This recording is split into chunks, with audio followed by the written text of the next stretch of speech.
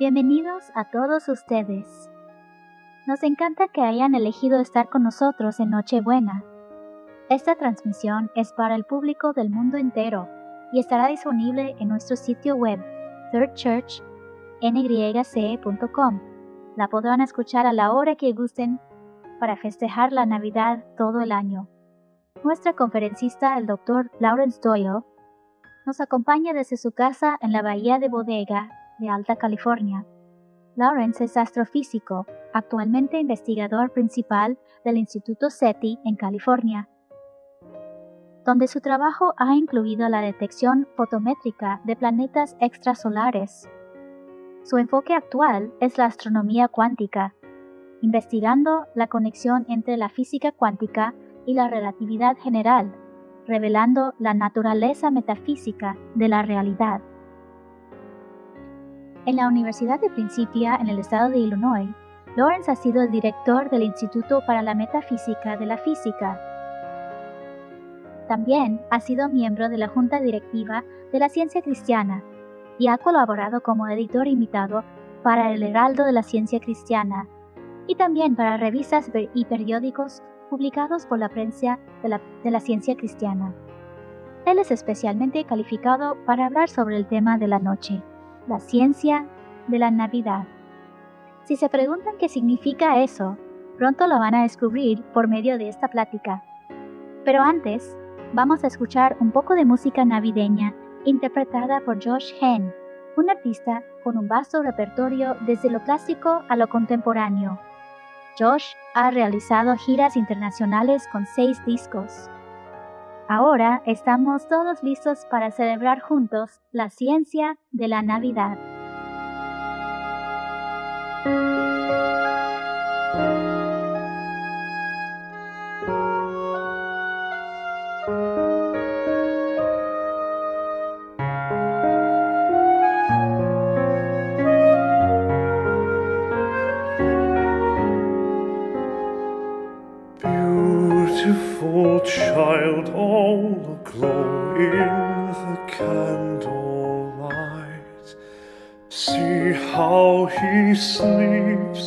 and a poor man.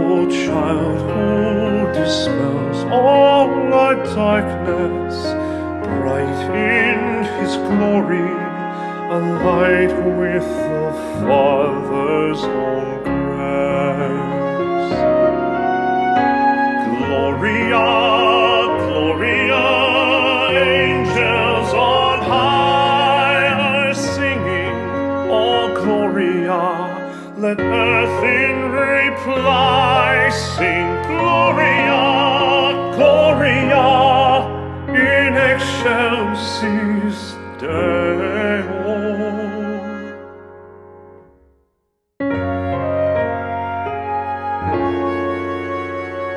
In the dark of the night, born is the light.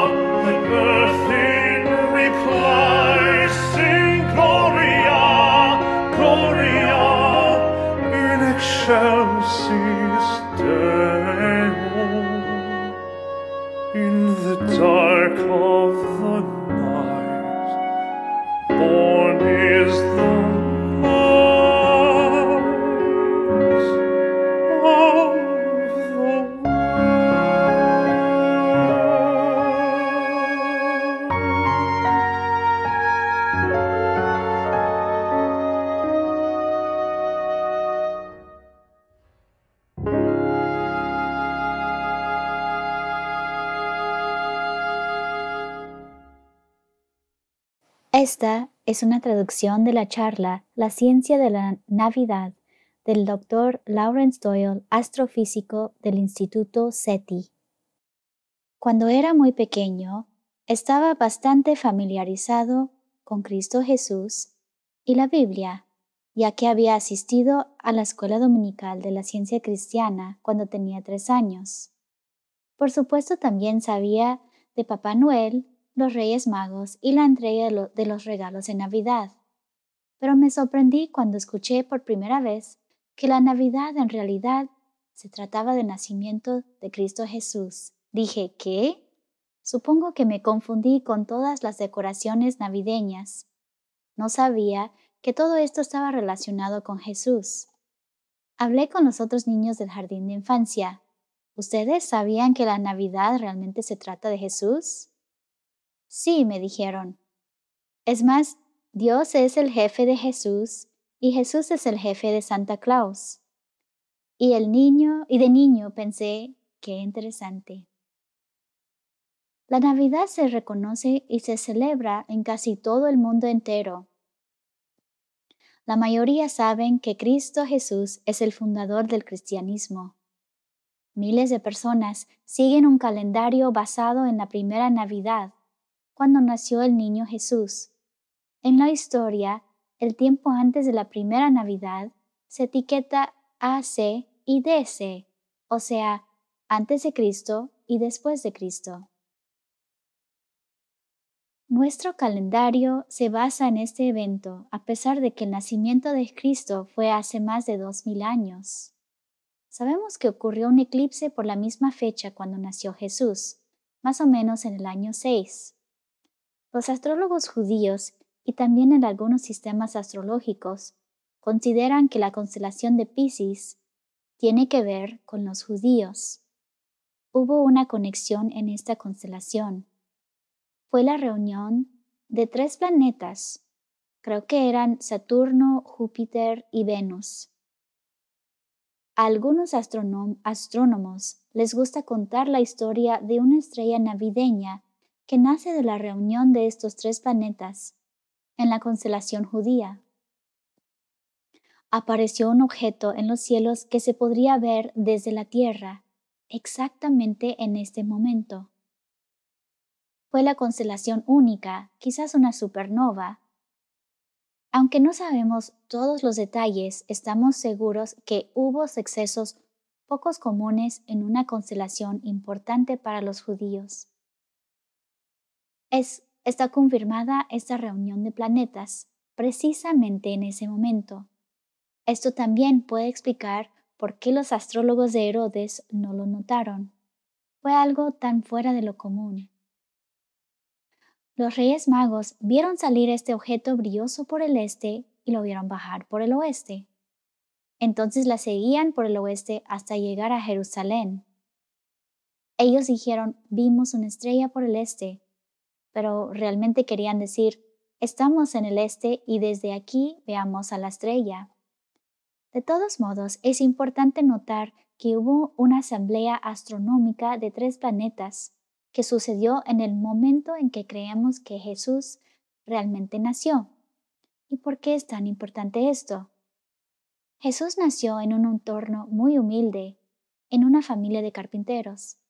Nunca escribió ningún libro, nunca conquistó grandes tierras con autoridad militar, nunca llegó a gobernar a ningún país. Lo que hizo tuvo muy poco que ver con lo que el pensamiento mundano relaciona con la grandeza. Y sin embargo, es sin duda la figura más conocida de la historia. Muchos dirían que es la más importante. ¿Por qué? ¿Qué hizo este hombre para que su llegada al mundo fuera celebrada por millones de personas? No sabemos mucho sobre sus primeros años. Sabemos que estaba familiarizado con la gente de la sinagoga de Nazaret, donde leía las escrituras los sábados. Sabemos que durante un viaje familiar a la gran ciudad, se quedó una vez en Jerusalén para hablar con los ancianos. Y aunque solo tenía doce años, los asombró a todos con su sabiduría. Pero ¿por qué se convirtió en la figura más destacada de la historia? ¿Cuáles son las razones? Cuando yo daba clases sobre la historia de la ciencia en la Universidad de Principia en el estado de Illinois, de Estados Unidos, con mis alumnos siempre identificábamos a varios científicos con sus fechas de nacimiento y de muerte, pero para clasificar a la vida de Jesús Cristo tendría que ser algo así como desde el año 6 hasta el presente. Quizás el Cristo es importante porque salió de la historia y así manifestó la vida eterna. En sus enseñanzas encontramos una clave de cómo hizo esto.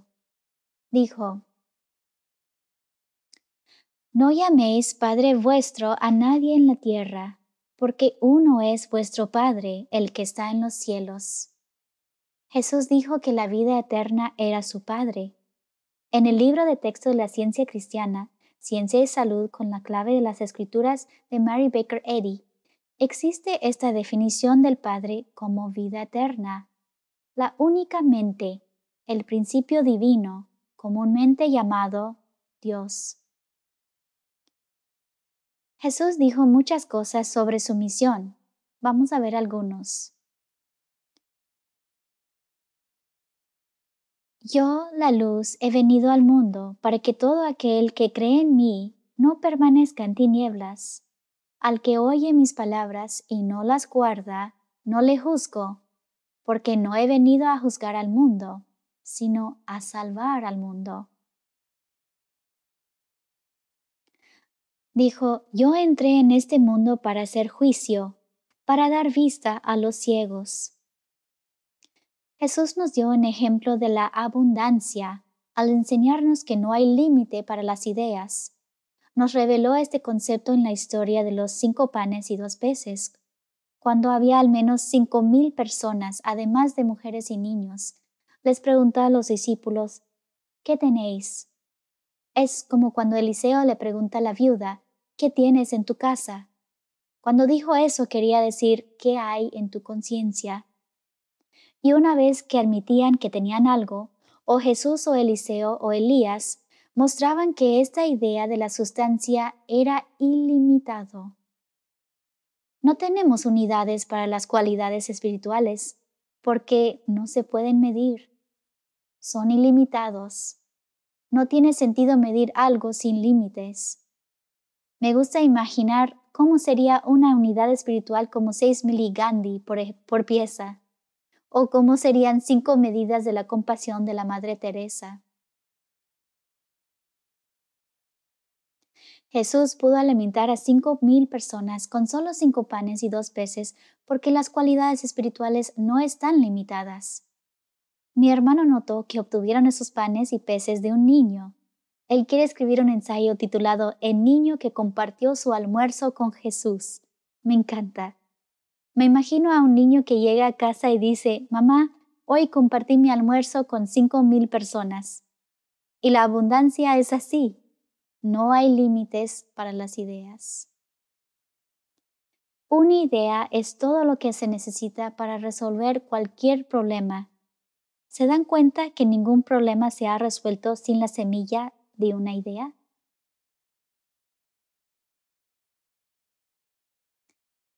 De ahí nace mi reputación en el mundo científico como alguien, como alguien que se dedica a las ideas. Conozco gente que puede usar mejor un telescopio. Sé que también hay científicos que son mejores para, que yo para detectar algoritmos y mejores matemáticos pero mi trabajo ha evolucionado directamente en relación con mi experiencia en la ciencia cristiana.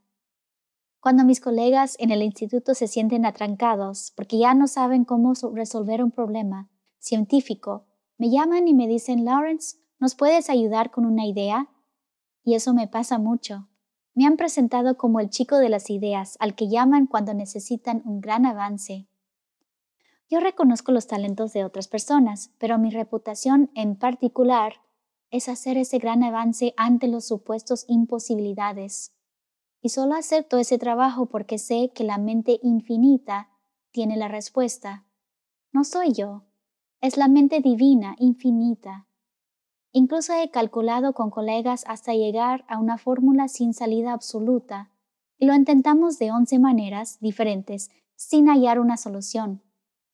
Y cuando pase esto, siempre digo, ok, bien, mañana tendré la respuesta. Y siempre llega. Eso me pasó también con las misiones de naves espaciales. Con la misión Kepler era necesario clasificar todas las estrellas en un campo enorme. Pero hubo una falla con el único instrumento que teníamos para hacer todos esos cálculos. Y yo no había y no había otra forma de clasificarlas. Era imposible. Pero fue de la noche a la mañana y la respuesta llegó al día siguiente. En otras ocasiones mis colegas fueron a tomar una taza de té y cuando regresaron la respuesta estaba ahí. Solo se trata de escuchar.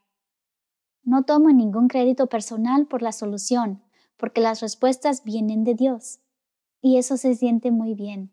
De no reconocerlo así, se cortaría la inspiración. Es muy bueno saber que no hay absolutamente ningún límite para las ideas de Dios. Siempre, siempre, siempre hay una solución. Y cuanto más difícil se vuelve, más interesante es la respuesta. Es emocionante ver cómo Dios nos revela las cosas. Toda mi carrera ha sido así. Ese tipo de ideas revolucionarias que vienen de la mente divina, no de la mente humana o de la mente de un superhéroe. Simplemente es la mente infinita y su infinita libertad. La ciencia cristiana es tan relevante en, en nuestras vidas. Te enseña cómo conectarte con la mente divina y cómo renovar esta conexión, cómo desarrollarla. La mente infinita siempre tiene la solución. Esta manera de ver la abundancia de las ideas es realmente una forma de descubrir la realidad que pertenece a la cantidad infinita la Biblia dice, mi propósito es darles una vida plena y abundante. Yo nací y vine al mundo para dar testimonio de la verdad. Todos los que aman la verdad reconocen lo que yo digo, que lo que, digo es cierto. Dijo, no vine para abolir la ley de Moisés o los escritos de los profetas. Al contrario, vine para cumplir sus propósitos. Mis ovejas escuchan mi voz, yo las conozco, y ellas me siguen. Les doy vida eterna. Estas cosas dijo Jesús sobre su misión propia. Es inconsistente decir que Dios hace a un lado las leyes de la física solo para impresionarnos con ciertas acciones religiosas. ¿Cuál sería el punto? Jesús nunca dijo que vino a conmovernos con procedimientos religiosos. En cambio, dijo que había venido a revelar la verdad. Desde mi perspectiva de un científico, eso significa que Jesús realmente era un científico. ¿Qué significa eso? Pues que se sumergió bajo la superficie material de las cosas y encontró la causa espiritual. Y eso es lo que realmente hace los científicos. Jesús tuvo una comprensión muy profunda de la realidad. Las cosas que él hizo podían aparecer milagrosos para los que no conocen la ciencia. Por ejemplo, volar un avión de 100 toneladas de continente a continente puede parecer un milagro. Los aviones comerciales son como cines voladores que van de un país a otro. Eso sería un milagro para cualquier persona nacida hace 200 años. Ahora bien, podemos ver una tendencia que tiene que ver con el profundo conocimiento. Cuanto más se entiende, menos materia se involucra, ya sea si se trata de algo como cultivar una siembra grande en un terreno pequeño o, de una computadora con gran poder que ocupa un espacio pequeño. Por ejemplo, la potencia de cálculo de este teléfono celular es 60 64 millones más fuerte que el enorme computador antiguo que yo usé para escribir mi tesis de maestría. Pero ¿cuál es la diferencia entre estos dos? Uno es más comprensivo y ocupa menos materia. El concepto de un milagro es realmente una medida de nuestra ignorancia. Jesús no habló de milagros, habló de la verdad, que era la base de todas las cosas. Esta idea lo abordó como un científico y esperaba que nosotros entendiéramos y demostráramos lo mismo en nuestras vidas. Un milagro en el sentido popular de la palabra implica que Dios ha estado involucrado. Pero ¿de qué sirve salvar a alguien si no es con la verdad? Si algo no te libera, entonces no es la verdad. Es la regla muy sencilla que Jesús nos dio para indicar cuál es la verdad y cuál no. Jesús afirma que la confirmación experimental, o sea, la verificación por medio de experimentos científicos, es la máxima autoridad. Si no puedes poner en práctica, no estás, si no lo puedes poner en práctica, no estás entendiendo el mensaje de Jesús. Todos deberíamos tener el poder de curar así como lo hizo Jesús. ¿Por qué? Él mismo nos dijo por qué. Porque voy a mi Padre. Al decir esto, Jesús no estaba diciendo que iba ir a otro lado, sino estaba diciendo, sucede esto porque me dirijo a Dios para la curación. La señora Eddy dice, la verdad, la vida y el amor divinos le daban a Jesús autoridad sobre el pecado, la enfermedad y la muerte. Su misión fue relevar la ciencia del ser celestial, comprobar lo que Dios es y lo que Él hace por el hombre. También dice, nuestro Maestro no enseñó una mera teoría, doctrina o creencia. Fue el principio divino de todo ser real que lo enseñó y practicó. La física cuántica se basa, se basa en los experimentos. Y hay una cosa que sabemos con certeza.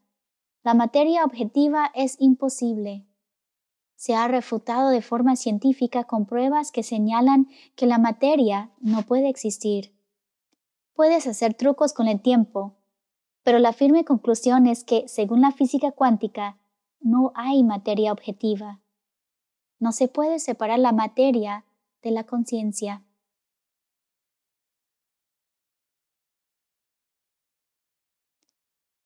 La señora Eddy define la materia como otro nombre para la mente mortal. Así dijo, la materia es un sinónimo de la mente mortal. Mis colegas no me creen cuando cito a las palabras de ella. Creo que del ensayo titulado No y sí. Bueno, ella dice que el átomo material es una falsedad periférica de la conciencia y mis colegas no creen que esta idea puede haber sido escrita en el siglo XIX. Lo que sucede en la ciencia es que se está desarrollando en una dirección metafísica, siguiendo exactamente el camino que la señora Edith trazó hace años. Estamos en un momento muy interesante. La ciencia cristiana tiene mucho que ver con la física moderna, Y la física todavía está muy revuelto, con muchas interpretaciones y malentendidos. Pero cuando llegamos al grano, no podemos evitar ver que la materia no es una realidad objetiva, no es la cosa sustancial que la ciencia victoriana decía que era. Así que es bastante notable que la señora Eddy haya dicho, sobre todo, haya dicho esto sobre todo en tiempos victorianos. Es mucho más fácil para mí decirlo ahora. Jesús habló de sí mismo en varias ocasiones diciendo, Yo soy el camino, la verdad y la vida. Nadie puede ir al Padre si no es por medio de mí. Yo soy la luz del mundo. El Padre y yo somos uno. Yo no puedo hacer nada por mi propia cuenta. Juzgo según Dios me indica. Por lo tanto, mi juicio es justo porque llevo a cabo la voluntad del que me envió y no la mía. Finalmente dijo, Yo soy la resurrección y la vida. El que cree en mí vivirá aún después de haber muerto. Jesús tal vez fue la primera persona en la historia en afirmar el método científico. Cuando los fariseos le preguntaron, ¿quién da testimonio de ti? ¿Juan el Bautista? Él dijo, Juan es la mejor autoridad que tienes, si hablan de la autoridad humana, pero mi autoridad proviene de mis obras. Bueno, eso fue una gran noticia en el mundo antiguo. Dijo que le íbamos a conocer por sus obras. Básicamente estaba diciendo que por medio de pruebas científicas íbamos a poder confiar en su palabra. Dijo, si no hago las obras, no me creas. Eso es muy científico, que al final de cuentas, solo las obras son fiables.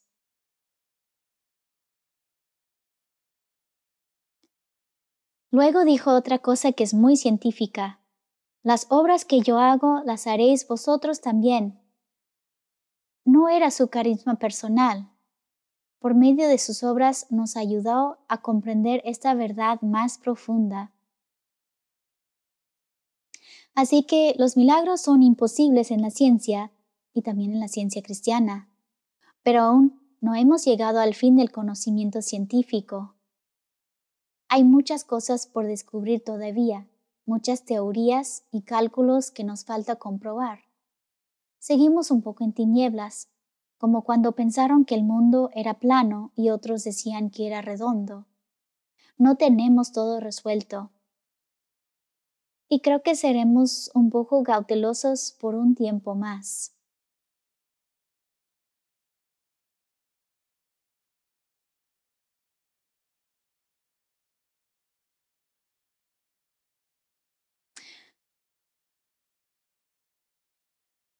Pero es cierto que el concepto de un milagro no tiene sentido si Dios siempre está en control del sistema del universo como un principio infinito.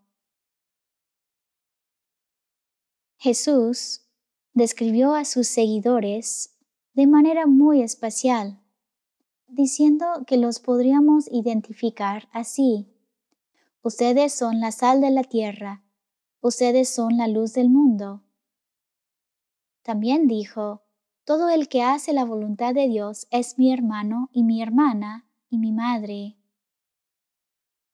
Vengan, sígame, y yo les enseñaré cómo pescar personas. El amor que tengan unos por otros será la prueba ante el mundo de que son mis discípulos. Todo el que crea en mí hará las mismas obras que yo he hecho, y aún mayores, porque voy a estar con el Padre. Y Jesús esperaba que lo siguiéramos haciendo sus obras. Dijo, no puedo hacer nada por mí mismo. Hay un viejo dicho del budismo zen. Dice, nunca es demasiado tarde para no hacer nada. Jesús dijo, yo no puedo hacer nada por mí mismo. En otras palabras, nunca es tarde para quitarte del camino y dejar que Dios lo haga. Jesús nos indicó cómo hacer esto también. Nos dio muchas explicaciones sobre cómo entrar en el reino de los cielos.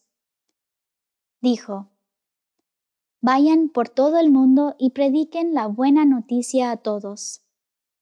Sanen a los enfermos, resuciten a los muertos, curen a los que tienen lepra y expulsen a los demonios. Den tan gratuitamente como han recibido. También dijo que no deberíamos juzgar a los demás, no juzgar, así dijo. Haz a los demás todo lo que quieras que te hagan a ti.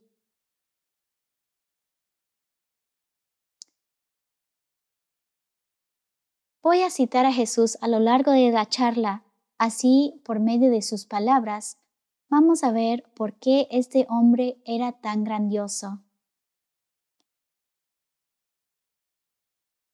¿Sabían ustedes que los mandatos de Jesús se extendieron para incluir conceptos sobre la energía de la, de la vida? Él dijo, y dado que yo, su Señor y Maestro, les he lavado los pies, ustedes deben lavarse los pies unos a otros. Dejen que sus buenas acciones brillen a la vista de todos, para que todos alaben a su Padre Celestial. Ama a tus enemigos.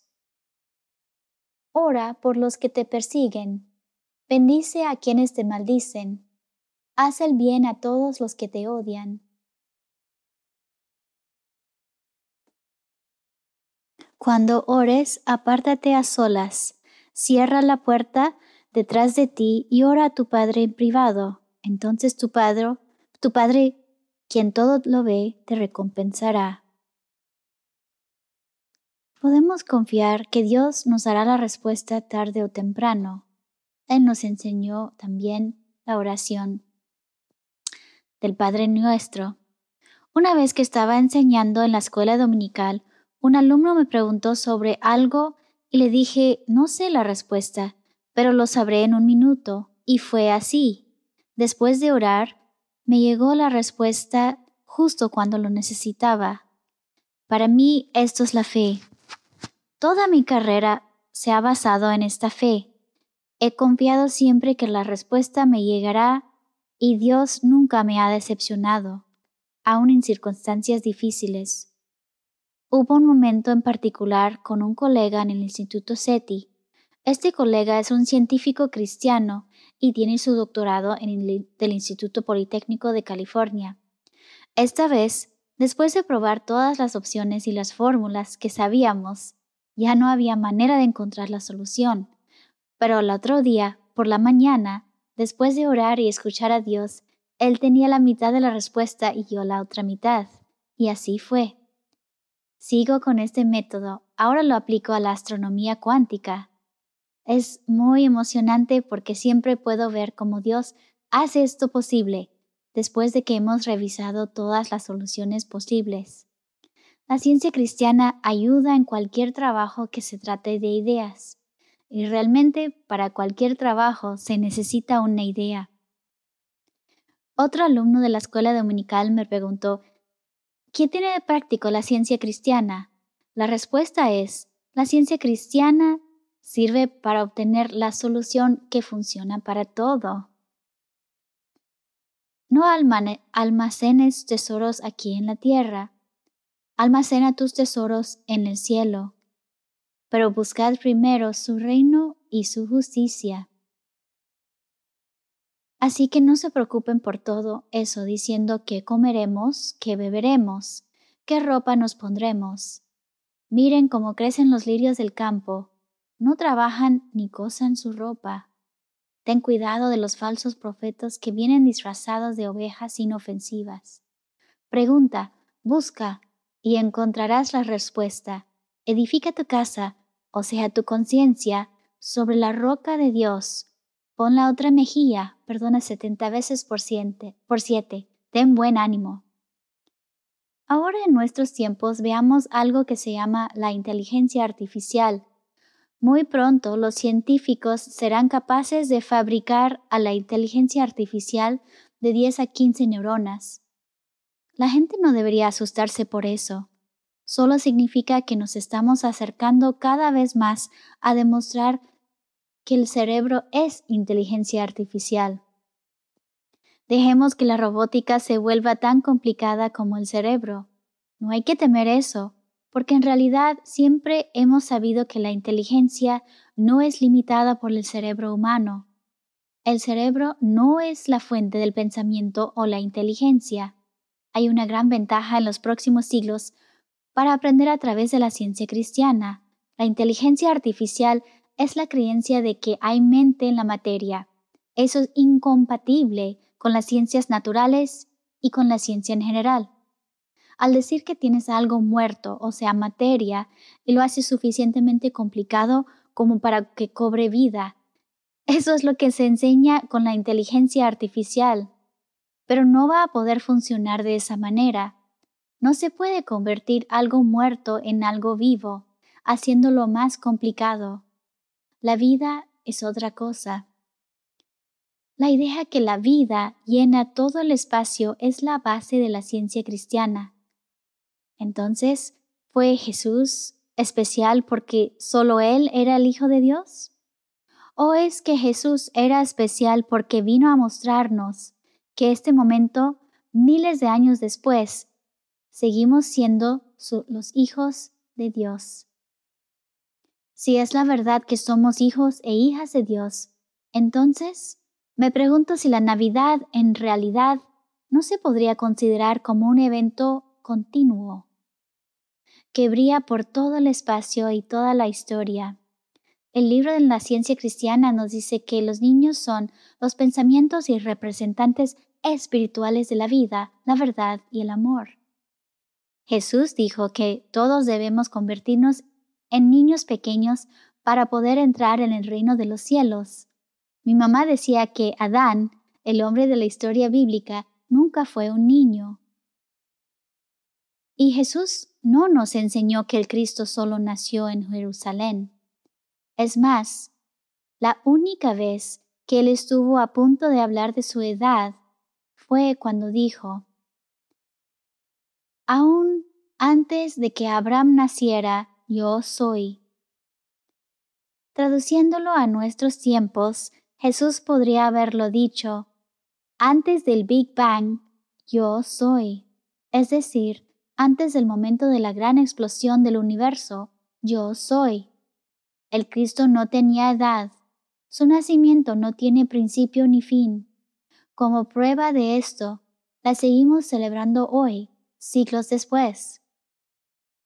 Si la teoría de la gran explosión es el comienzo de los tiempos, ¿cómo puede ser si no hay tiempo? Eso es lo que Jesús vino a mostrar. El tiempo no existe porque Él no está sujeto a un principio ni fin. Esto tiene sentido incluso científicamente.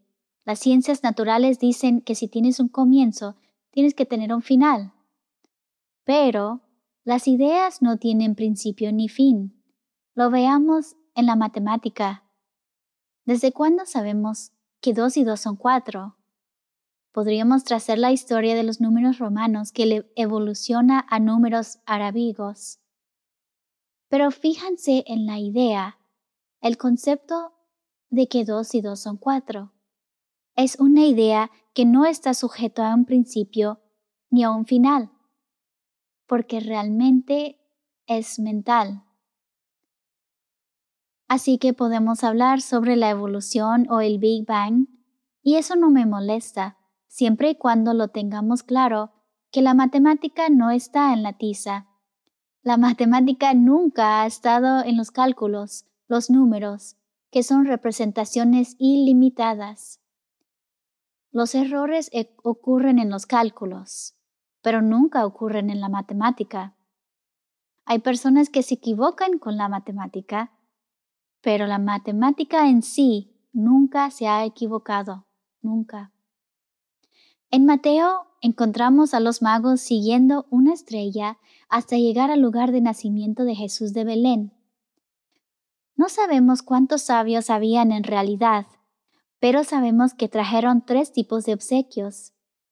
Según algunos comentarios de la Biblia, cada tipo de don representaba un aspecto de la misión de Jesús. El oro representa que Jesús iba a ser un gran rey.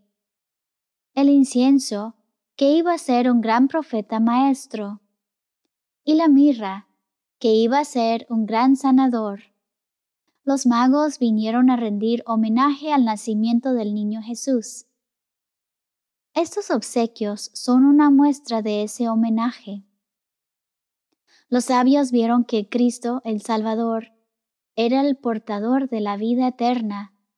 El Cristo nació y un don lo reconoce. Los regalos son simbólicos, oro, incienso y mirra. Reconocen que Jesús fue rey y profeta y el sanador. Cuando nosotros intercambiamos regalos, lo honramos. De repente me di cuenta que de que darnos regalos es reconocer la Navidad en cada uno de nosotros. Reconocer el nacimiento de Cristo en cada individuo.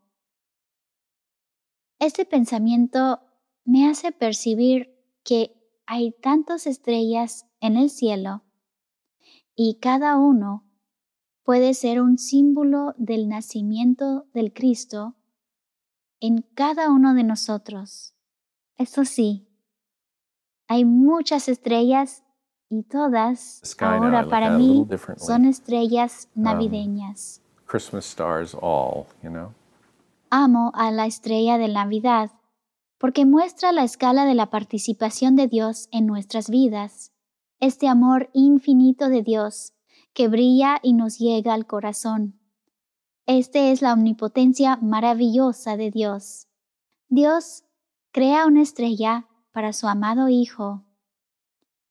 ¿Te imaginas una estrella hecha para ti? El Hijo algún día hablaría de sí mismo y de sus seguidores como la luz del mundo. La señora Eddy describió a Cristo así. El que data la era cristiana y abarca la eternidad fue el hombre más dulce de la tierra. Ahora vamos a avanzar a tres décadas después del nacimiento de Jesús. Vamos a, ver una noche en cuando Nicodemo, un gobernante religioso de los judíos y miembro del consejo del Sanhedrin, vino a ver a Jesús. Venía de noche para no ser visto. Dijo que él estaba convencido de que Jesús no podría haber realizado estas obras milagrosas sin Dios a su lado. Al parecer, Nicodemo reconoció el Cristo dentro del hombre Jesús de Nazaret. En la Biblia veamos que luego Jesús dice a Nicodemo, De cierto, de cierto te digo, el que no naciere de nuevo no puede ver el reino de Dios. Y la reacción de Nicodemo es, ¿qué? Él no entiende nada. Fue a hablar con Jesús y de repente el tema se cambia a su nacimiento. Por cierto, el hecho de nacer en Cristo es realmente la idea de la Navidad, ¿verdad? Por eso es importante ver esta historia sobre la idea de nacer de nuevo. Esta idea pertenece a la Navidad. Bueno, yo no sé exactamente por qué Nicodemo quería hablar con Jesús, pero la transición al tema de su nuevo nacimiento le pareció bastante abrupta y asombrosa. Su concepto de sí mismo era sumamente material, y así él pregunta, ¿Cómo es posible que yo nazca de nuevo físicamente? Todavía no se da cuenta de que Jesús está hablando de un renacimiento navideño que se aplica a cada uno de los hijos de Dios. Y cuando sí logra entender que él también necesita nacer de nuevo, Nicodemo entiende la verdad y obtiene su propia estrella de Navidad. Es una historia muy navideña. Como astrónomo he observado una cantidad de estrellas.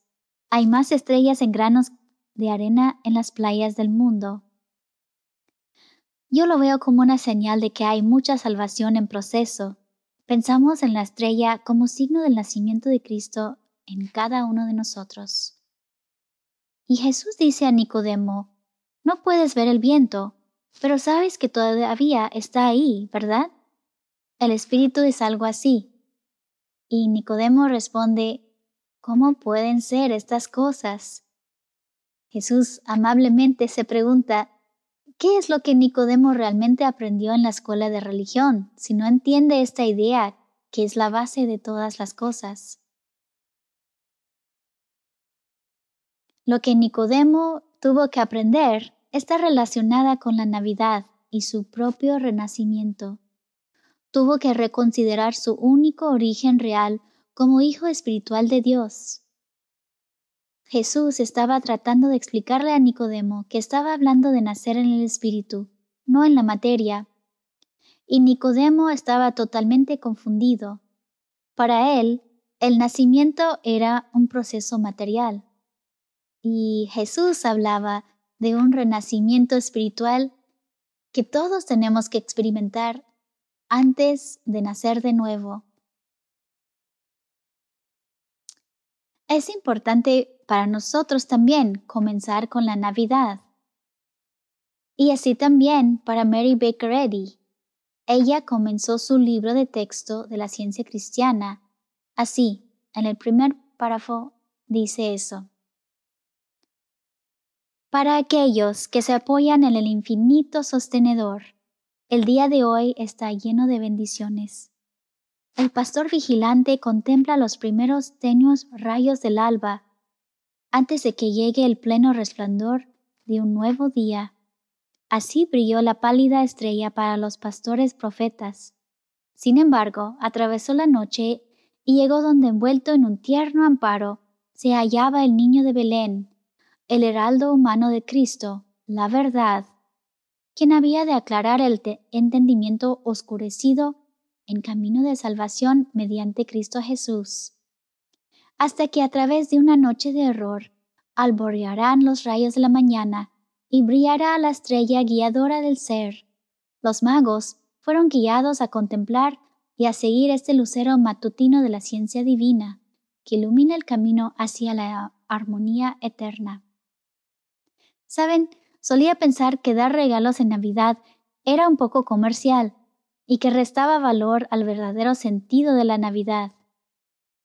Pero luego me di cuenta de que hay un significado espiritual de dar regalos, como lo hicieron los magos al niño Jesús. En realidad es reconocer que todos estamos naciendo de nuevo. Es ver el nacimiento del niño Jesús en cada uno de nosotros es el amanecer progresivo de nuestra naturaleza cristiana como imagen y semejanza espiritual de Dios. Reconocemos que Dios es nuestro Padre también, como dijo Jesús. Dar regalos en Navidad simboliza el reconocimiento del renacimiento de Cristo en cada ser. Los magos sabían que el Cristo había llegado en forma del niño Jesús.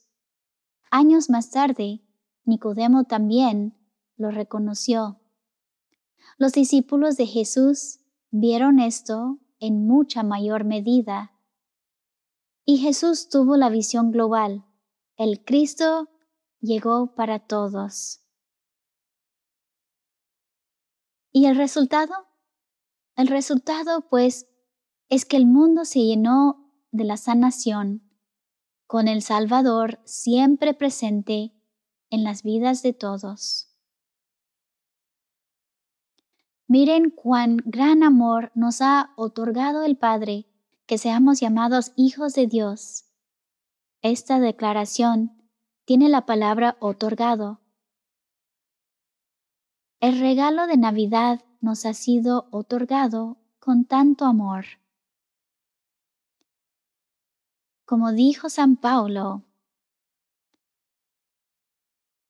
la dádiva de Dios es vida eterna en Cristo Jesús, Señor nuestro. Dios nos dio este regalo para siempre, y Cristo Jesús vino a recordarnos que siempre hemos tenido el regalo de la vida eterna como hijos e hijas de Dios. La señora Eddy escribe, cuando las estrellas de la mañana cantaron juntas, todos los hijos de Dios gritaron de gozo. Para la visión de los sabios, esta idea espiritual del principio del hombre o del universo apareció como una estrella. El concepto humano más elevado era del hombre Jesús, lo retrataron como el Hijo único de Dios, el Padre lleno de gracia y de verdad. Llegará a ser tan magnificado al sentido humano por medio del lente de la ciencia, que revelará que el hombre es verdaderamente el Hijo de Dios, tanto colectivamente como individualmente. La primera palabra para Dios en el libro de la ciencia y salud es el infinito sustentador. Y la palabra estrella se usa tres veces en el primer párrafo. La autora nos habla de los pastores profetas que contemplaba la estrella de Navidad. Me acordé de esto cuando miré hacia el cielo una noche y pensé, ¿no podrían entonces todas estas estrellas ser de Navidad? ¿Cuántos hijos de Dios hay? ¿Con qué frecuencia Cristo nace de nuevo? ¿Con qué frecuencia llegamos a ser como el niño Jesús para entrar en el reino de los cielos? Quizás por eso hay tantas estrellas en el cielo. Juan el apóstol explicó así a la Navidad. Porque de tal manera amó Dios al mundo, que dio a su Hijo unigénito, para que todo aquel que cree en Él no se pierda, sino tenga vida eterna. Así que este es el regalo de la Navidad. La Navidad es la vida eterna que proviene de Dios, el nacimiento eterno del niño Cristo en cada uno de nosotros, como hijos de Dios. Esto es lo que Cristo Jesús nos mostró. Así lo describe la señora Eddy en un sermón de Navidad dado en 1888. Se aplica igual hoy en el siglo XXI. Los profetas del siglo XIX repiten, se nos ha dado un hijo. Los pastores gritan, contemplamos la aparición de la estrella. Y los de limpio corazón aplauden. Así que la Navidad no se trata de un verso material y antiguo, se trata de la vida eterna para todos. No se trata de la historia de Jesús, se trata del hecho de que Jesús venció la historia y abrió el camino para que nosotros hiciéramos lo mismo. La Navidad no se trata de una reunión de cosas materiales, Realmente se trata de reconocer el nacimiento de Cristo en todos. Así que no olviden que cada uno de ustedes tiene su propia estrella de Navidad, la luz del Cristo que nace una y otra vez en ustedes, como su ser inmortal. Así que feliz Navidad.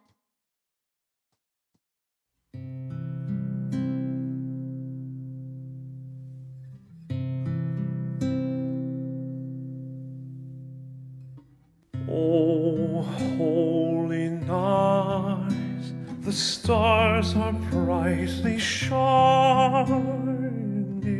It is the night of our dear Savior's birth.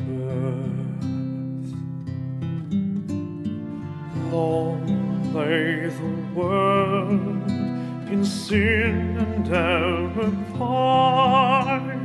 till he appeared and the soul felt its worth.